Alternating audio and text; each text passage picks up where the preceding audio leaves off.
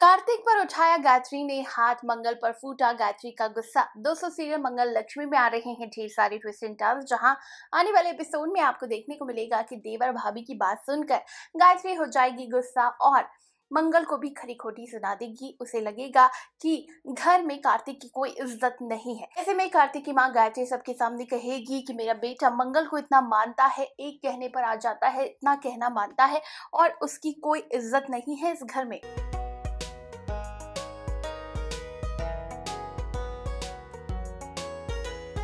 ऐसे में कुसुम मंगल पर भड़क जाती है और कहती है, मंगल, तुमने कार्तिक को ऐसा क्या कहा जो गायत्री इतना कुछ कह रही है? तभी कार्तिक फिर से मंगल की साइड लेने लगता है तो गायत्री भड़क जाती है और कार्तिक पर उठा लेती है हाथ। तभी कुसुम उसे रोक देती है। ऐसे में देखना दिलचस्प होगा कि गायत्री कार्तिक का मंगल से मिलना कर देगी बंद। क्या लगता है आपको इस बारे में? कमेंट्स में बताइए और सब्सक्राइब करिएगा हमारे चैनल को।